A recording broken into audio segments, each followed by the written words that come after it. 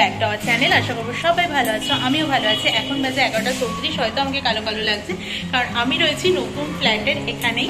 তো এ পাশেই আমার ঘর রয়েছে, তোমাদেরকে তো দেখাবো বলেইছি, তবে আস্তে আস্তে সবটাই, এখনই কিছুটাই দেখা, সবটা দেখাচ্ছি না।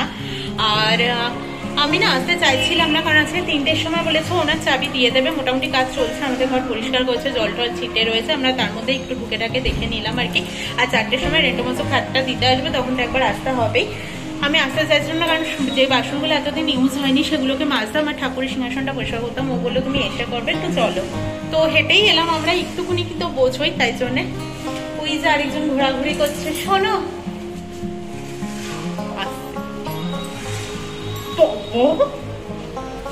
কীরকম লাগছে আপনার? এরকম ভাবে আসলে আমি কি করে টেনশনে লাগছে। হ্যাঁ চুলটা ধরে ওনার ফোন করার পরে ধরে বেঁধে চলেছি। চুল টুল আশ্রয়ও নি, এরকম অবস্থা যাচ্ছে আমাদের। তো চলছে পরিষ্কার, দেখি কি হয়।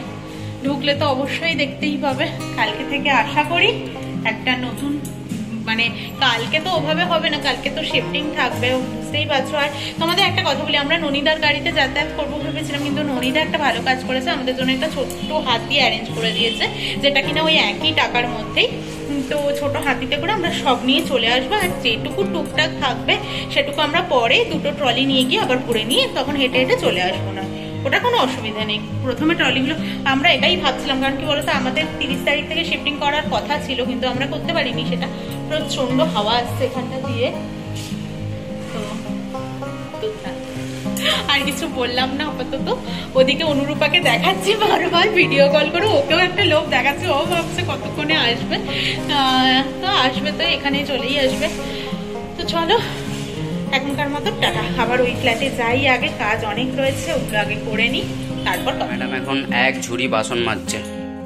আসল কথা হচ্ছে সব থালাগুলো যেগুলো রেগুলার ইউজ হয় সেগুলো মেজে দিচ্ছি। এগুলোর মধ্যে না অনেক কিছু ইউজ হয়নি করা আর কি। ইন্ডাকশনটা ছিল বলে মানে গ্যাসে বসাতে পারিনি বলে। তো আর রান্নাঘরের অবস্থা এখন চারদিকে যে হাল গেছে মানে আমরাই জানি আমাদের শরীরের মধ্যে কি যাচ্ছে। ঘুম থেকে উঠে যাচ্ছি টেনশনে কিন্তু মানে শরীর আর পারমিট করছে না। আমি তো অনেক দিন ধরে করেই যাচ্ছি করেই যাচ্ছি কুটি নাটি করে করে। তো আজকে ফাইনালি শেষ হলে বাঁচা যায় আজকে তো শেষ নয় কালকে গিয়ে পুরোটা শেষ করব মানে শরীর যদি আমাকে বলে শুয়ে পর শুয়ে পর তাও আমি বলব না বসে থাক না বসে থাক। করে করে শেষ করব। তো চলো ম্যাডাম করে নিক ততক্ষণ আমরা ঘুরে আছি বাসন মাজা ধোয়া করা আমার হয়ে গেছে এখন বাজে বারোটা সাঁত্রিশ করব ঠাকুরের সিংহাসনটা পরিষ্কার, আর ফ্রিজটা নেই দেখতে পাচ্ছি, আর ফ্রিজের জায়গাটা জঘন্য হয়ে রয়েছে, আর যদিও ওখানটায় আমি হাত দেবই না ওই কোনাটাতে। তো সব বাসন মোটামুটি এখানটাতে আমি দিয়ে দিয়েছি। ঘরে যাতা অবস্থা মানে সিরিয়াসলি আর পাচ্ছি না। এবার একটু কষ্ট হচ্ছে। ও ঢুকেছে বাথরুমে আমার যে ডাস্টবিনের বালতিটা ছিল বাথরুমের বালতি, মগ, ওগুলো সব মাঝতে ঢুকেছে ও বাথরুমে তো আর আমার দেখেছ তো, এখানটায় মানে এত ধুলো ঘাটছি কদিন ধরে, এখানে তৃতীয় চোখ একটা উঠে গেছে।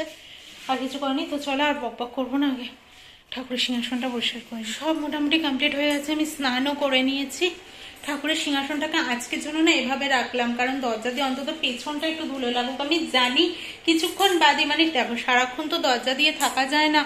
আর খুললেই আমি জানি এরকম হবে আমার না আর কথা বলার এনার্জিটুকু আজকে আর বেরোচ্ছে না, জানি না কেন। মানে আমরা ভেবে দেখলাম আমাদের রেস্ট হওয়া মানে সকালে যেটুকু টাইম আমরা মানে ঘুমিয়ে টানছি বা শুয়ে থাকছি আর কি। শুয়ে থাকলেও তো মানুষের শরীরের একটা রেস্ট হয়। তো আমি না সাতটা বাইশে আজকে ঘুম থেকে উঠে গেছিলাম মানে জেগে গেছি। কিন্তু বডিকে আর তুলতে পারছিলাম না, মনে হচ্ছিল না যে আমি বিছানা থেকে উঠি আজকে। তো তাও বাইরে থেকে তাকে তাকে হাসছে মানে ও এতটাই ধুলো কেটেছে ও সোজা এখন বাথরুমে ঢুকবে। ও একবার বাথরুমে ঢুকেছে। ঢুকে গিয়ে আমি ওকে বললাম যে ডাস্টবিনটাও নিচে রেখে আসে। যদিও কাজগুলো ওরই বাথরুম পরিষ্কার করা ডাস্টবিন নিচে রেখে আসা ডাস্টবিনের বালতিটাকে ওর ধুয়ে দেওয়া ওই ধুয়েও বাইরে রেখেও চইছে এই কটা কাজ সত্যি ওই করে। এই কটা কাজ আমাকে দেখতেও লাগে না আমাকে বলতেও লাগে না। তারপরে বাথরুমের বালতিটা সেই কলকাতা যাওয়ার আগে মাজা হয়েছিল। তারপর না এসে আর মাজা হয়নি, তো ভালো করে এবার এখানকার জল তো খুব খারাপ, নিচটা না লাল হয়ে যায় আর আমার বালতিটা সাদা। সাদার মধ্যে ফুল ফুল দেওয়া, তো ওই জন্যে সাদা বলে বেশিই যেন ফুটে ওঠে। তো ভালো করে ঘষে দিয়েছে, আর সত্যি না এতটাও পরিষ্কার হচ্ছে পুরো নতুনের মতো লাগছে। আমাকে বলছে, যাও গিয়ে দেখবে, বাথরুমে তোমার মুখ দেখা যাচ্ছে বালতিতে। এবার আমি বালতিটা তুলে নিয়ে বলছি হ্যাঁ আমার মুখ দেখতে পাচ্ছি, আমার বরের মুখ দেখতে পাচ্ছি, আমার শ্বশুর, শাশুড়ি, মা, বাবা কলকাতা থেকে সবার মুখ দেখতে পাচ্ছি। ও আমাকে তাড়া করেছে। আমি গিয়ে তাড়াতাড়ি দরজাটা আটকে দিয়েছি। এইসব তো একটু কাজের মধ্যে এইসব ইয়ার্কি ফাজলামো না চললে আর কাজ করতে ইচ্ছে করবে না দুজনেরই। তো এইভাবেই চলছে। ভাত বসিয়েছে, এখন বাজে একটা পঞ্চাশ। আমরা একটু মানে আমার না কাজ করতে করতে আর খেয়ালও নেই যে আমাকে ভাতটা বসাতে হবে।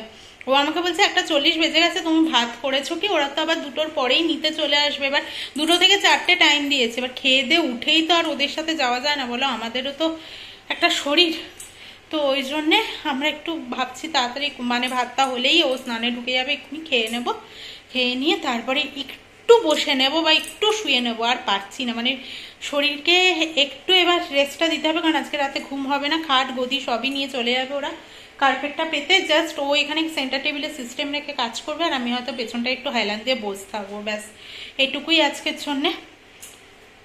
চলো, তোমাদের সাথে রেখে সবটাই কাজ হচ্ছে, শুধুমাত্র তোমাদের বলব না, একটা টাইমে হয়তো এই ভিডিওগুলো দেখলে তখনও বুঝতে পারব যে হ্যাঁ এরকমভাবেই আমরা কাজগুলো করেছিলাম। একটা কাপ রয়ে গেছে গো ওপরে এখন বাজে বিকেল চারটে পঁচিশ আর অন্যদিন পৌনে ছটার সময়ও তাকানো যায় না, তোমরা দেখো। কিন্তু আজকে প্রচণ্ড মেঘ করেছে, পুরো কালো করে এসেছে। আর আমাদের দুটো থেকে চারটের মধ্যে বলেছিলাম রেন্টো রেন্টোমোজোর মানে এসে ছেলেগুলো খাটটা নিয়ে যাওয়ার কথা, কিন্তু টাইমটা নাকি চেঞ্জ করে ওরা ছটা থেকে আটটা করেছিল, যেটা আমাদের চারটের সময় জানালো। তো ঠিক আছে, অসুবিধা নেই, শুধুমাত্র ওর অফিসটাই পাঁচটা থেকে শুরু হবে, তো মাঝে বলে যেতে হবে আর কি। আর কিছুই না, কিছু করার নেই এখন। একটু তো ম্যানেজ করতেই হবে এদিক ওদিক। আমি তো শুধুমাত্র একা গিয়ে করতে পারব না। তো ওই জন্যে আর ওখানে নানান রকম মিস্ত্রিরাও কাজ করছে আর কি। আর তো আজকে আমাদের সেট দেখলে তুমি একদম মানে তোমরা কি আর বলব? বাইরেটা ডাইনিংয়ে আমাদের কার- যেহেতু খাট নিয়ে চলে যাবে আর খাটের নিচটা তো নানান রকম জিনিসে মানে একদম ভরপুর ছিল না। তো ওখানটা এখন পরিষ্কার কেন আমি আর করতে যাব? ওর জন্য আমরা বাইরেটাতে সেন্টার টেবিলটায় ও সিস্টেমগুলো বসাচ্ছে আর কার্পেট পেতে নিয়েছে একটা।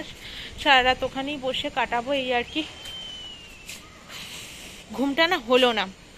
আমি ঘুমাইনি বলব না হ্যাঁ আধ ঘণ্টা পঁয়তাল্লিশ মিনিট মতো একটু ঘুমিয়ে গেছিলামও তারপর আবার জেগে গেছি। মানে ও এত খাটটাকে নাড়িয়ে দিয়ে উঠল আর কি মাঝে, তো তাতে করে আমার ঘুমটা ভেঙে গেল একদম।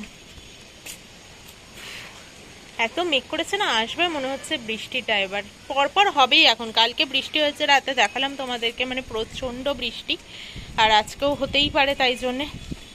যাব নিচে, তো চলো দেখাই তোমাদেরকে যে আমাদের নিচটার কি অবস্থা, ও কোথায় কাজ করছে। আর আমি ঠাকুরের কয়েকটা কাপড় ধুয়ে দিয়েছিলাম, সে কটা নিয়ে যাব এখন। রেডি হয়ে আমি বসে পড়েছি। ওরা খাটনিতে আসবেই জাস্ট বলল মানে আসছে আর কি।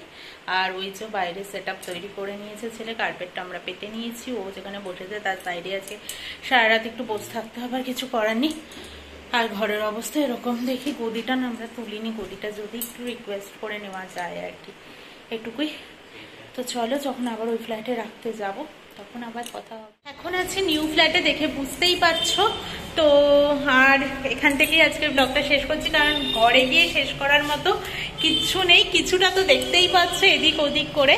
তো চলো, আজকের মতো এখানেই শেষ করছি। যদি কোনো নতুন বন্ধু চ্যানেলে এসে থাকো, তাহলে প্লিজ সাবস্ক্রাইব করে পাশে থেকো লাইক করো শেয়ার করো কমেন্ট করে জানিও তোমাদের কেমন লাগল। যদি বলো এতটা জোর থেকে পাচ্ছি, সত্যি কথা বলতে এই ব্লগিংটাও কিন্তু আমাকে কিছুটা জোর দিচ্ছে যে এর মধ্যেও ব্লগ করা যায়, এর মধ্যেও সবটা করতে হচ্ছে আর কি।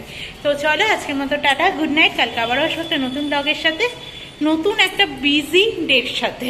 তো চলো, টাটা।